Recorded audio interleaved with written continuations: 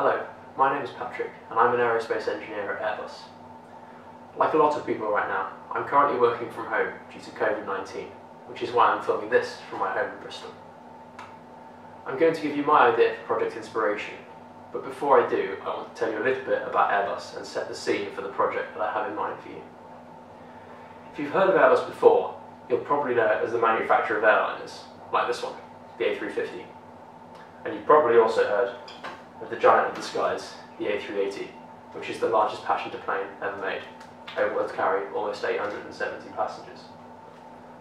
What you might not know is that Airbus has two other divisions as well as the commercial aircraft one. Airbus Helicopters is the world's largest helicopter manufacturer, with about 12,000 flying in service today. And Airbus Defence and Space is the world's second largest space company and makes satellites, interplanetary spacecraft, rockets and military aircraft like the A400M. I work in the commercial aircraft division though, so this is going to be the theme of my project for you. Before I tell you exactly what it is, let me set the scene a little bit. So, most commercial aircraft flying today look pretty similar to those flying back in the 1950s. Basically a tube with wings and some engines hanging underneath them. This is the Boeing 707, which first flew in 1957, compared to the A350, which is considered today's state-of-the-art, in 2020. Apart from the number of engines, they have very similar layouts, or configurations as we usually call them. There have been some slight variations on this over the years,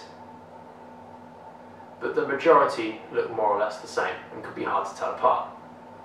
You might think this is just companies copying each other, but it's not and there's actually a very good reason for this. It's a very efficient configuration for the propulsion type that's being used to get all of them off the ground. These are known as gas turbine engines, and they're powered by jet aviation fuel, which is very similar to the diesel that some of us put in our cars today. Although the aircraft might not have changed that much in appearance, when you look at their fuel efficiencies, it's clear to see that a lot of progress has been made in these 60 odd years. This graph shows quite nicely how the energy needed per passenger per kilometre has decreased by about 80% since the early days of jet travel. The majority of this improvement has come from the development of vastly improved engines, but there are also sizable contributions from other factors, such as weight reduction with composite materials like carbon fibre, which you've probably heard of, and aerodynamic improvements too such as the addition of these little things on the end of the wings that we call winglets. In the last decade, we've been made increasingly aware of the effects of climate change, to which aviation is a contributor, generating about 2% of global carbon dioxide emissions. To tackle this, the aviation industry has set ambitious targets for decarbonisation of air travel, and rightly so too. These include carbon neutral growth from 2020 onwards, and a 50% reduction in net carbon emissions by 2050 compared to 2005 levels.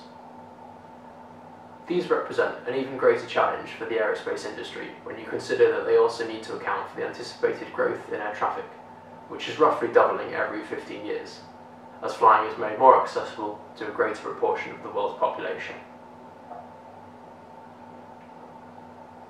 This graph shows the situation over the next 30 years quite nicely. If no action is taken and we continue to use today's state-of-the-art aircraft up to 2050, we'll miss the targets by a long way. But what it also shows is that even with improvements on known technologies, we still wouldn't meet either of them.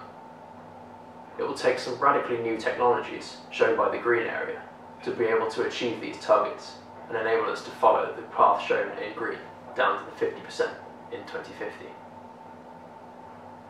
So this brings me on to the project itself, which is I'd like you to design a concept aircraft for the post-fossil fueled era. Imagine the year is 2040, and by now everyone has a deep understanding of the impacts of greenhouse gas emissions on climate change. On top of strict regulations on carbon emissions, the cost of extracting the dwindling supplies of fossil fuels makes it just too expensive to be a viable option for use in aircraft anymore. We will no doubt have much more expansive train networks, but we'll still need the ability to fly somehow. whether it be to visit friends and family, for work or pleasure, or to transport perishable freight such as fruit and flowers. So I'd like you to come up with a design for a concept aircraft that will fly passengers around in 2040. What technologies might we see on aircraft then? This might include new types of propulsion, new materials, new aerodynamic shapes, but you could also suggest things that would give a better overall passenger experience, like new cabin designs and features. To start with, you should think about which type of energy source will power your aircraft and why. Does electric propulsion have potential? Or maybe biofuels or synthetic fuels will be the solution. There are several other possibilities too, but I'll let you do your own research here. You might also want to think about the air traffic market and what that might look like in the future. Will people travel as much as they used to?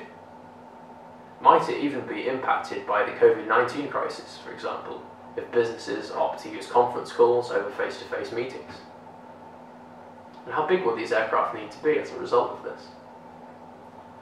I've left the project scope as broad as possible for you, so that you can be as creative as you like. Sketch your designs, make models if you want, and some of you might even have access to a 3D printer and be able to make something like this. But remember that this is an engineering exercise and not an art one, so make sure you justify all your design decisions with good reasoning and evidence. So, that's my project idea. The aim for the project is to help you achieve a silver crest award level, and your teachers will be able to provide more information about this. But you can take a look at the Crest website too for more information. You could choose to work on your own or in small groups, and if you're working on your own, you might want to focus on one small aspect of the project in more detail. For example, look just at the propulsion type or the cabin design and technologies. Or you could tackle the whole lot if you want to.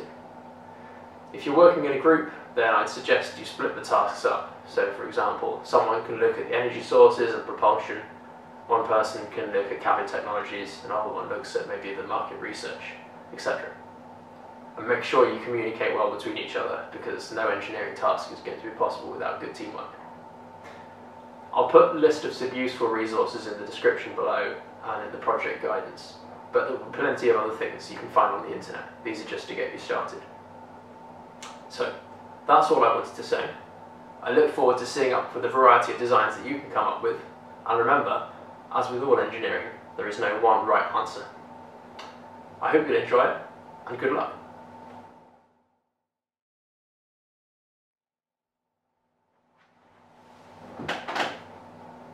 Hello, I'm Mr. Patrick Metcalfe, and welcome to the premiere episode of Patrick Metcalfe Presents Fun with Planes.